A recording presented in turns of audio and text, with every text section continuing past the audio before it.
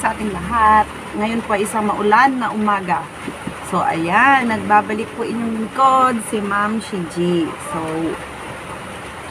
for today's video po, um, isi-share ko po sa inyo yung experience ko nung bumili ako ng ano ng um, vitamins sa Lazada. So, dumating siya ngayon-ngayon lang, guys. Hindi ko na nauna ng content si Kuya kasi sobrang uh, maulan, na, maulan kasi. So, ito. At um, inisprayan ko na po ito. Inisprayan ko na ng alcohol. Yan. And to my surprise, first time ko po kasi talagang nangyaring bumili ako ng ganitong walang bubble wrap. Ayan guys, ano pa to? Uh, fresh. Binuksan ko lang siya dito. Actually, nung hindi ko pa to binubuksan, nakapako na. Sabi ko, bakit walang bubble wrap to? So, di po ba dapat SOP yan? Na dapat lahat ng binibili natin online na perishable or pwedeng madamage, though plastic to, pero kasi pwedeng mag-leak, pwedeng ma-open, dapat naka-bubble wrap para safe. So, sa mga nagbebenta po dyan, ng may tindahan sa online, ma-Shopee man po, malasada man po yan. Dapat po naka-ano to, naka naka-enclose ng ganyan. Kahit magsabay na sila, tapos may bubble wrap. Para safe po. Hindi natin malalaman eh. Ayan. Wala talaga siyang bubble wrap. Ka-open ko lang. So, ayan. Si ako po dati, nagtitinda-tinda rin ako online. I see to it po talaga na naka-bubble wrap siya. First time ko po talagang bumili online online nang hindi siya naka-bubble wrap. This is the very first time ko. So, ayun lang. Medyo na-shock lang ako. Bakit walang bubble wrap? Si naka-bubble wrap naman dapat lahat. So, ayun. One main down sila sada tuloy sa akin. Kasi parang disappointed. Disappointed lang. Though hindi naman sila sadang may kasalanan nito. Kung hindi yung store ng pinagbilhan ko. Dapat naka-bubble wrap yan. So, to all vendors out there, guys, dapat naka-bubble wrap po. Ingatan po natin yung mga products na binibenta natin at dinideliver natin sa clients or customers natin. Kasi po, sila yung magre-rate sa inyo. Inire-rate kayo ng mga customers nyo based doon sa serbisyong ibinibigay nyo sa kanila. Kasi the product itself is bayad po yan bayad yung produkto. So, syempre, nag aim yung mga customers nyo na maayos naman yung pagkakabalot. So, disappointed lang po talaga ako kasi hindi siya naka-bubble wrap. Masyadong nagtipid yung tindahan. Pwede namang pagsabayin to eh. Ayan, pagsabayin. Tapos, isang bubble wrap lang. Kahit nakaganon lang na bubble wrap, tapos isang tape na nakaganon, para safe lang siya na hindi, kasi though, though gels to, pero meron tendency na mag-leak siya, 'di ba? Si kasi surprise nga rin ako kasi though ano naman siya guys, sealed. Ayan. Pero easy to open pa rin siya. Hindi ganoon ka-sealed yung ito, itong itong itong plastic niya. Parang hindi siya nakabaon dito talaga. So, parang na-surprise lang ako. First time eh, bumiling naging ganito. Parang hindi maganda. Yun lang. Sharing is love, is caring. Hindi ko nagustuhan.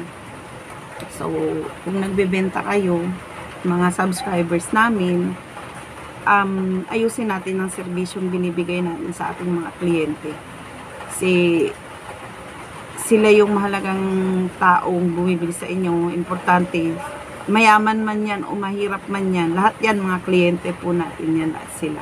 So, dapat dapat po yung serbisyong ibinibigay natin ay maganda at pulido.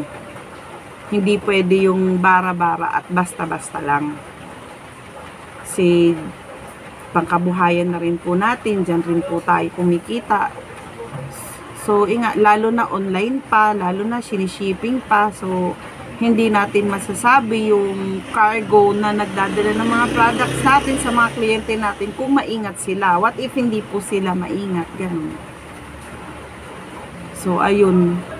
Yun lang po. Medyo, medyo na-disappoint kasi ako. Kaya medyo napa, ano, napa-content na wala sa oras.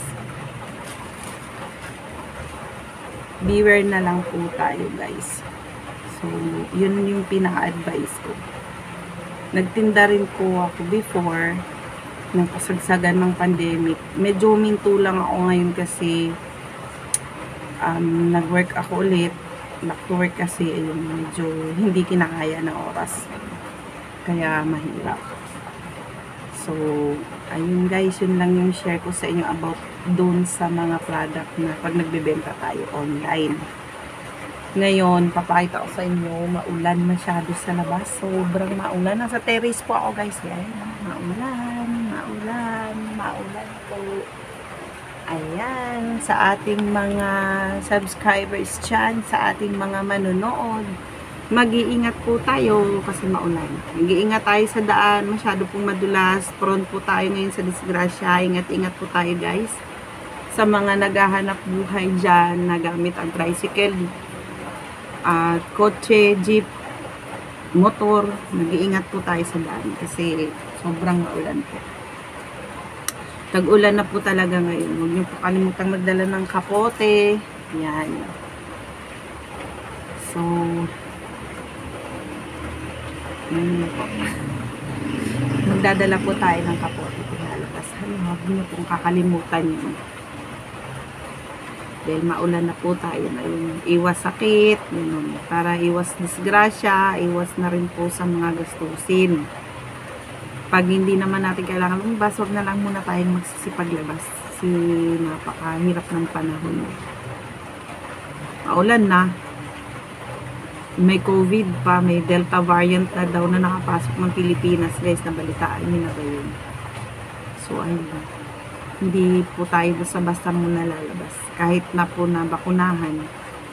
Konting safe pa rin po kasi mahawaan at mahawaan pa rin tayo. Though lalaban na yung katawan natin, pero kasi may, maigi pa rin yung walang tayong sakit ni Puma. Kasi di rin tayo magkakagastos.